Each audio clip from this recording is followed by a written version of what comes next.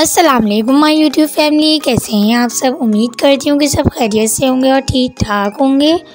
तो आज मैं आपके लिए लाई हूँ स्वीट डिश की रेसिपी। जैसा कि आपको पता है कि नया साल आ चुका है तो मैंने सोचा कि इस नए साल में पहली रेसिपी मैं स्वीट डिश की अपलोड करूँ। तो इस टू इन वन कस्टर्ड कुल्फ़े के लिए जो हमें चीज़ें चाहिए तो यहाँ हमारे पास एक लीटर बिना बॉयल किया हुआ दूध है। साथ यहाँ पर दो बड़े खाने के चम्मच कस्टर्ड पाउडर है। कस्टर्ड पाउडर आप कोई सही फ्लेवर का ले सकते हैं। मैंने यहाँ स्ट्रॉबेरी फ्लेवर लिया है। साथ यहाँ पर चार से पाँच हज़ार ब्रेड के स्लाइसेस हैं। जो बड़ी वाली ब्रेड आती है उसके साथ यहाँ पर 250 ग्राम खोया है एक पाव के करीब। और मैंने यहाँ पर शुगर इस्तेमाल नहीं की है। मैंने यहाँ पर स्वीटनर इस्तेमाल किया है। अगर आप शुगर इस्तेमाल कर रहे हैं तो बड़े दो बड़े खाने के चम्मच ले सकते हैं। तो चलें, चलते हैं रेसिपी की तरफ़। तो सबसे पहले मैं यहाँ एक ब्लेंडर में दूध ऐड कर दूँगी। दूध मैंने यहाँ पर एक लीटर बिना बॉयल किया हुआ लिया है। आप चाहें तो जो डब्बे वाला आता है वो भी ले सकते हैं ऑल पर या मिल्क पैक साथ में इसमें ब्रेड के स्लाइसेस ऐड कर दूँगी। ब्रेड के स्लाइसेस मैं इसलिए ऐड कर रही हूँ ताकि इसमें जो कुल्फ़े में ग्रेनी सा टेक्स्चर होता है वो आ जाए। तो साथ मैंने यहाँ पर खोया ऐड कर दिया है। खोया ऐड करने के बाद मैं इसमें जो मैंने स्वीटनर लिया है वो ऐड कर दूँगी। आप चाहें तो चीनी भी इस्तेमाल कर सकते हैं, लेकिन चीनी के मुकाबले में स्वीटनर कम इस्तेमाल होता है तो और ज़्यादा जो जिनको चीनी नहीं खानी होती है, वो भी इसको यूज़ कर सकते हैं। और साथ फिर उसके बाद मैंने इसमें कस्टर्ड पाउडर ऐड कर दिया है। कस्टर्ड पाउडर ऐड करने के बाद मैं इसको अच्छी तरीके से मिक्स कर लूँगी। कस्टर्ड पाउडर आप कोई सा फ्लेवर ले सकते हैं मैंगो वेनीला और या फिर स्ट्रॉबेरी और ये आपकी अपनी चॉइस है। तो इन सब चीज़ों को ऐड करने के बाद मैं इसको ब्लेंड कर लूँगी।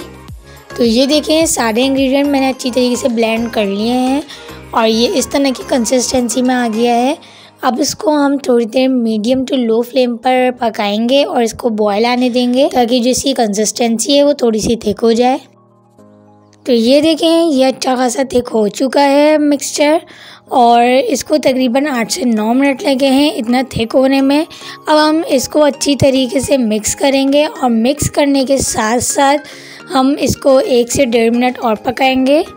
तो ये बैटर हमारा रेडी हो चुका है। इसकी कंसिस्टेंसी जितनी अच्छी थिक होगी, उतना अच्छा ये कुल्फ़ा कस्टर्ड सेट होगा। और अगर आपके लम्स बन जाते हैं इस बैटर में तो आप बीट भी कर सकते हैं इसको बीटर से। अब मैं इसको प्लास्टिक बॉक्स में सेट होने के लिए रख दूँगी। साथ में इसके ऊपर प्लास्टिक रैप भी सेट करूँगी ताकि एयर बबल्स ना बने। और इसको तकरीबन छः से आठ घंटे के लिए मैं सेट होने के लिए रख दूँगी। आप चाहें तो ओवरनाइट भी रख सकते हैं। तो ये देखें छः से सात घंटे हो चुके हैं। अभी हमारा बिल्कुल रेडी है। अब मैं इसको पीसेस में सर्व करूँगी। आप चाहें तो इसको फालूदे के साथ भी सर्व कर सकते हैं और जो जेलीज़ आती है कस्टर्ड जेली उसके साथ भी सर्व कर सकते हैं। और इसके ऊपर हम रू अफ़ज़ा की भी थोड़ी सी टॉपिंग करेंगे। तो चलें, मैं इसका फ़ाइनल लुक दिखाती हूँ आपको। तो यहाँ मैंने इसके साथ सर्व करने के लिए फालूदा तैयार किया था। उसमें मैंने तखमेरा भी ऐड किया है। और आप चाहें तो अपनी मर्ज़ी का इसके अंदर कोई सोया रू अफ़ज़ा भी ऐड कर सकते हैं। और ये देखें अब मैं इसके ऊपर इसकी प्लेटिंग कर दूँगी। तो ये देखें मैं इसके ऊपर जेलीज़ भी ऐड कर दूँगी। तो ये थी आज की वीडियो उम्मीद करती हूँ कि आपको पसंद आई होगी। तो जो लोग डाइट पर हैं, वो लोग भी ये रेसिपी बना सकते हैं और ट्राई कर सकते हैं। क्योंकि इसमें शुगर ऐड करना, ना करना आपकी चॉइस है।